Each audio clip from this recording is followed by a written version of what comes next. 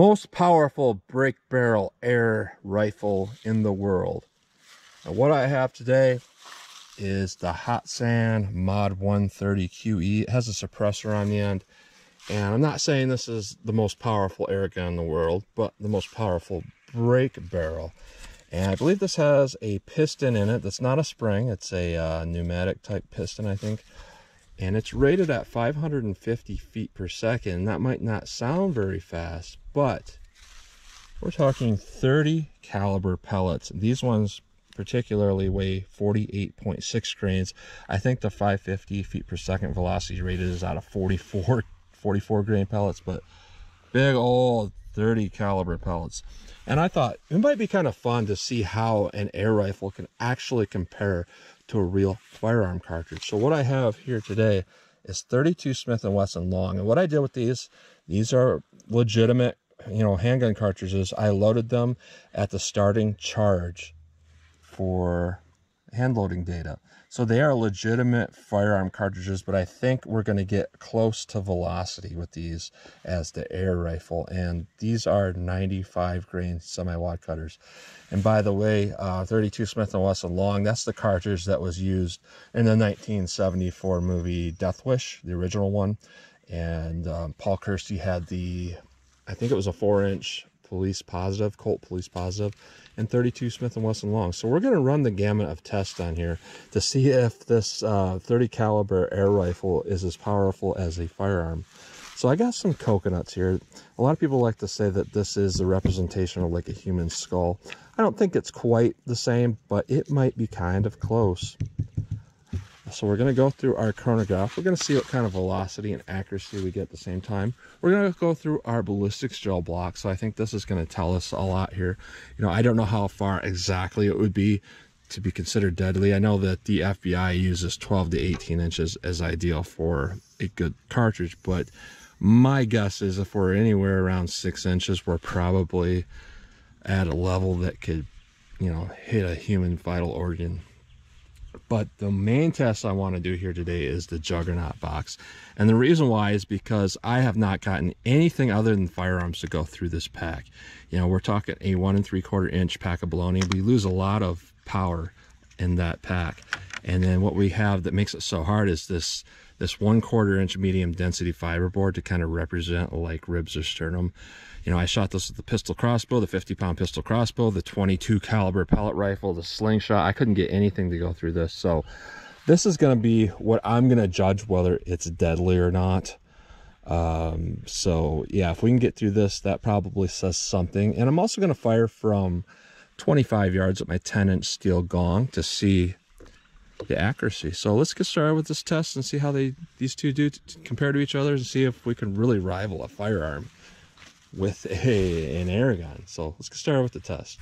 All right, first up we have this 32 Smith & Wesson long loaded at the starting charge through a really short barrel. So this should really bring our power down. And that pellet rifle is going to bring our power up compared to most. So let's see how what, how they compare, what kind of velocity we get out of this 32 I loaded. 508. 551. 553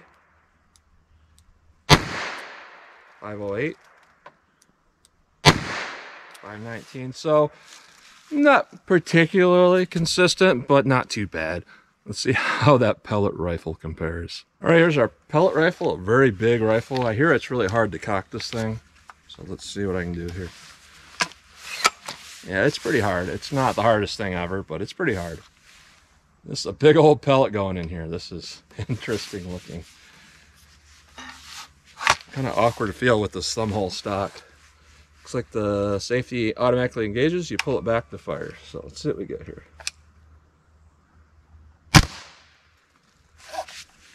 Not sure if that was a read from this or from my last round. I, I wasn't paying attention there. Let me, maybe I misread. Um, let's try another one. Yeah, it's not wanting to read. You would think with this 30 caliber, it wouldn't be such a hard thing for it to read because it's a big pellet.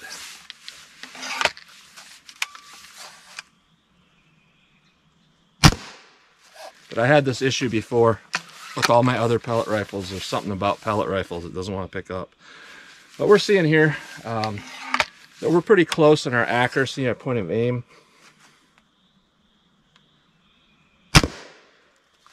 Yeah, it's not wanting to read. This might take a while to get a reading, so I'll fast forward till I do. All right, I got up really close. I aimed really low down, 553. That's actually the rated velocity for this gun with a 44 grain, and we're doing a 48 grain. So yeah, we're about the same velocity as that 32 Smith & Wesson, but of course our bullet weight is, I think, a little over half. So let's try to get one more read here. No read, but I'm going to take that reading because that's a, you know, that's what people are reportedly getting with stuff like this. So I definitely trust that read. Um, let's hit our ballistic gelatin and see how these two compare to each other. Our first up, we have a 32 Smith & Wesson long. I'm not going to use denim on this because, quite frankly, we don't need that. Uh, so let's see how far this goes into the block.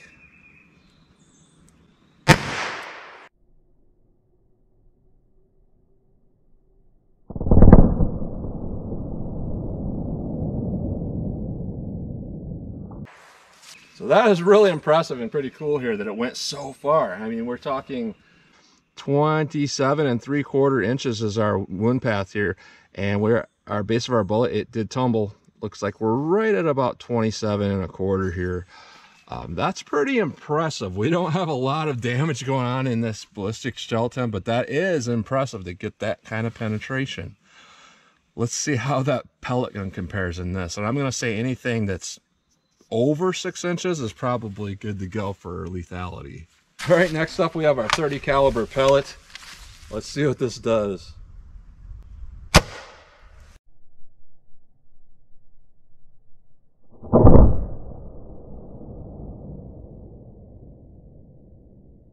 Good shot. And what we see here is pretty interesting. Um, our damage path is at about seven and three quarters but our pellet came back and rested at about six and three quarters almost. Let me hit one more and see if that's comparable. And I'm mainly doing this because that looks really cool in there. I just want to see another one in there. Shoot a little higher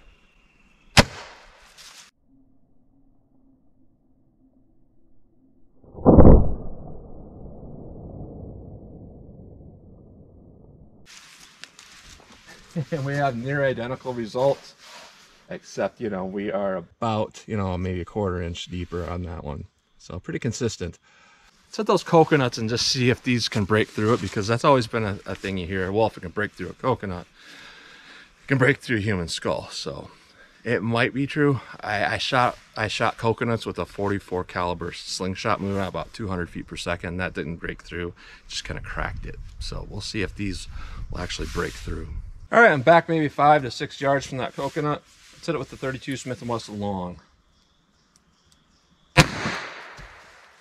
And what we see here is it didn't do a whole lot of damage, but it did enter right here and it did come out. So in any standard um, personal defense situation, even that lowly 32 Smith & Wesson long, we do the job if the right shot placement was made.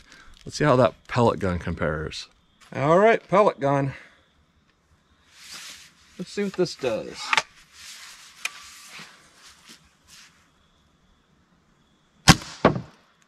All right, so it actually grazed it. Interesting. So it makes me a little bit nervous and cautious at the same time. So I'm going to back up a little bit before I make another shot. All right, I came back about 10 yards just to get a little distance between me and that coconut. I'll try to make a better shot on it.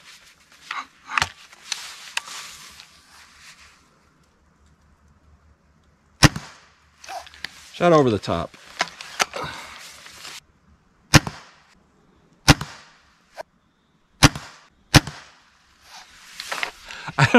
I, I went down all the way to like six inches below it and it's still hitting the same spot. I'm gonna go up a little bit. I wasn't expecting my point of aim and impact to be so far off at that distance. All right, I saw the pellet hit the dirt like it ricocheted. It's exactly what we're seeing. For some reason, it's ricocheting. I don't know if I'm just grazing it or if I'm actually hitting it straight on.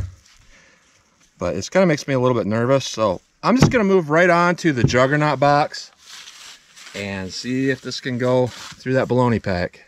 All right, 32 Smith & Wesson long. We'll see what this does to our baloney pack. Good solid hit. As we might expect, that's not going to do a whole lot of damage to this. It's just going to punch a clean hole through it. So let's see what we got in water jugs. And when we're talking solids, this is one of the things that never really compares to ballistics gel. Hollow points normally do for a said, you know, penetration, but solid lead ones don't. Two, through two, impact on three. Looks like it's tumbling. Impact on four. And no real dent out the you know, back of four. So what we're looking at is probably about 17 inches typically compared to ballistic gel, Obviously we had a lot more in our actual ballistics gel.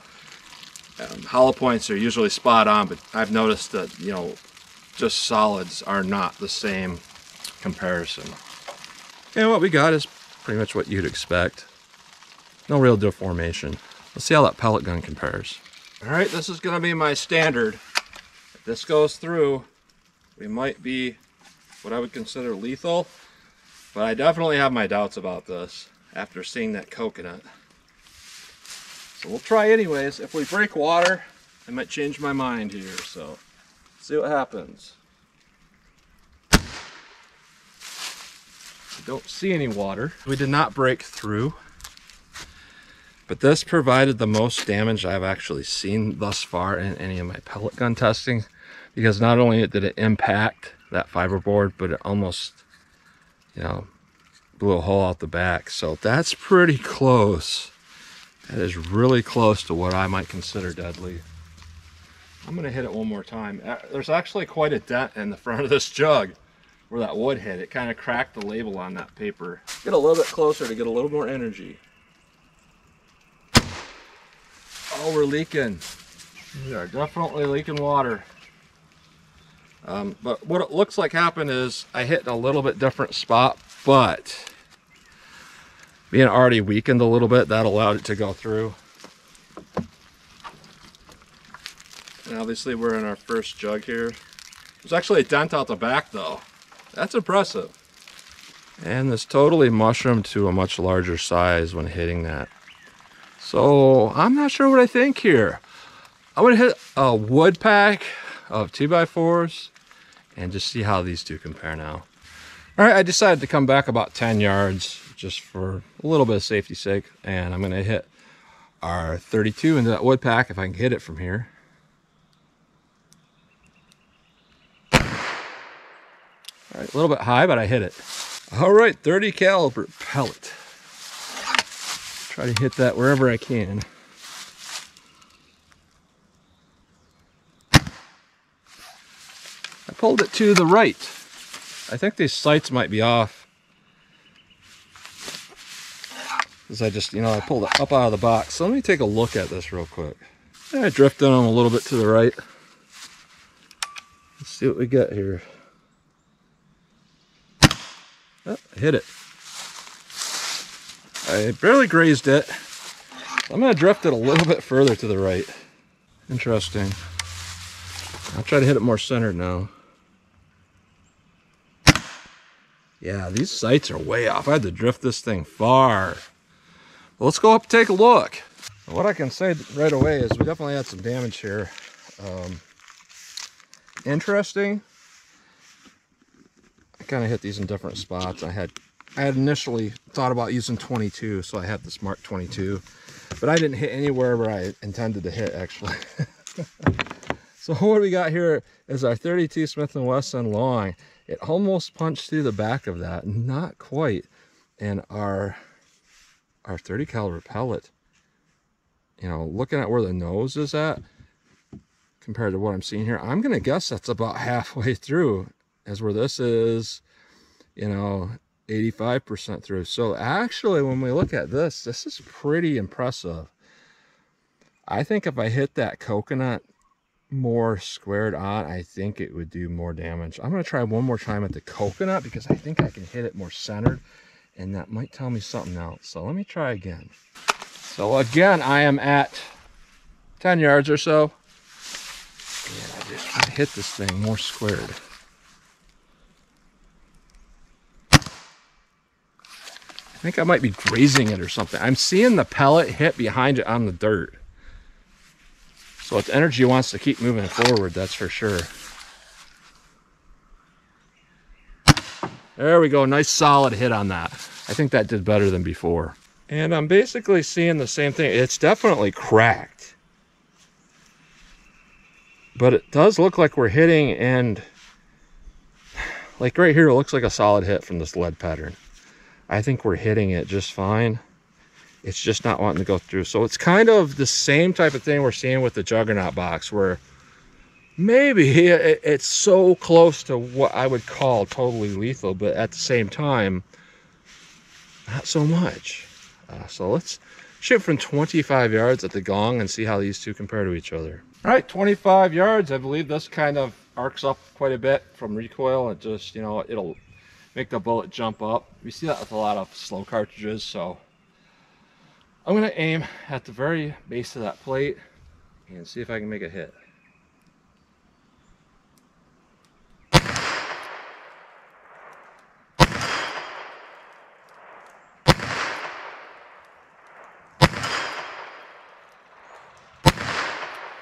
Not too bad. A few hits there, a few misses. But what I'm seeing is even loaded as low as you can go, this is pretty impressive little cartridge.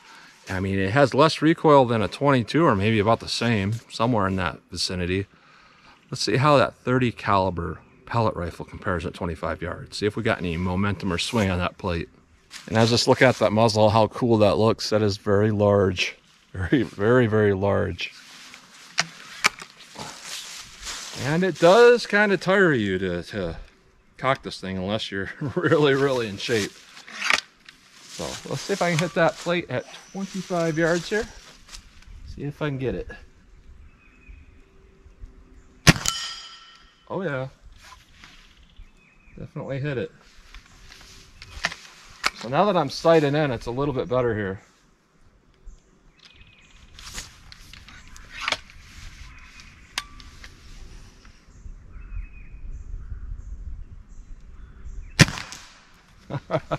I pulled that one. It's pretty cool as it hits the ground because it makes a thud. You definitely know you're hitting something downrange.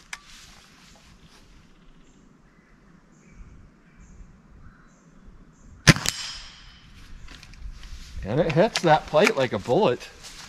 You know, it's not like a BB gun would just go ting ting a little bit and wouldn't barely do anything. All right, I got a little bird spinner down there. My daughter gave that to me last year. Let's see if I hit that little thing, because that, that's like a game size, something you might shoot at with a gun like this from about this distance. Ooh, right over the top. And it moves faster than you would think it would. You know, it's only 550 feet per second, but it just seems like it moves fast.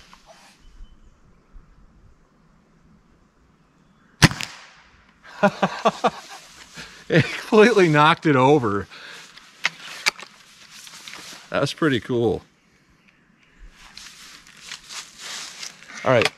I told one subscriber I got rid of my metal tank, and I basically did, but I, what I mean by that is I threw it behind a tree. I can kind of see it from here, and it's about 45 yards away. You can't see it on camera. I'm going to see if I can hit it.